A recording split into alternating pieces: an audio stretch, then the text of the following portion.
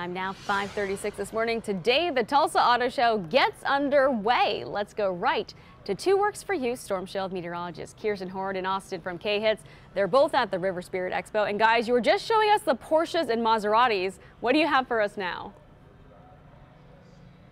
Well, I think I found Austin's favorite exhibit. Yeah. Am I right? Uh, as, a, as a small child, I collected Matchbox cars, and uh, Brent Hike has his own Matchbox real car collection right here, and it's behind me at the Tulsa Auto Show. This is awesome. It is pretty awesome. Bill Elliott, Dale Earnhardt, Bobby Allison. Oh, aren't you getting excited at home?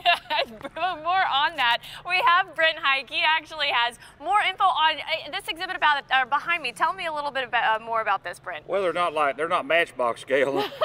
I don't know, good, bad, or ugly. I, my, my uh, scale is one to one, but no, no, these are all uh, these are all championship winning uh, uh, Hall of Famers. Every one of these cars have been, these guys have all been in the NASCAR Hall of Fame, and and uh, it, it's really really cool to get to get to take the to go to these shows and get to see that people actually get to see these things. You know, you're, you're just very seldom that uh, that they're out, yeah. and you can actually get up and get up up close and personal and check them out. Yeah, well, I know Austin is excited about this. And guys, if you plan on coming out, let's talk about the weather, what it's going to be like today and heading into the weekend.